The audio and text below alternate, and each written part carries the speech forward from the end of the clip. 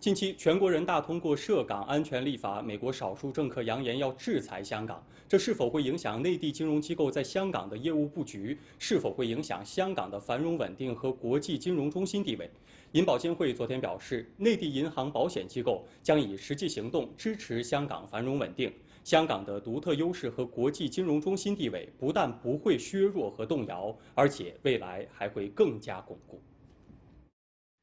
银保监会表示，香港有完善的法律制度、稳健的金融体系、大量高素质专业化的金融人才、雄厚的经济基础和国际一流的营商环境，有四千四百亿美元外汇储备和超过一万亿港元的财政储备，完全可以应对各种风险挑战。目前，香港金融市场运行平稳，联系汇率制度稳固，没有非正常资金外流，这也反映出国际市场对香港充满信心。目前，内地银行业、保险业在香港已形成强大的金融服务网络，与香港本地金融机构以及世界上许多国家的金融机构建立起十分紧密的业务联系。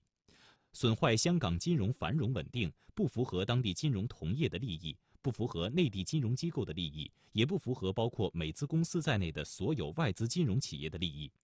内地银行、保险机构将一如既往坚持以市场化、法治化的方式与香港各界广泛合作，积极审慎地发展和创新各类金融业务，以实际行动支持香港繁荣稳定。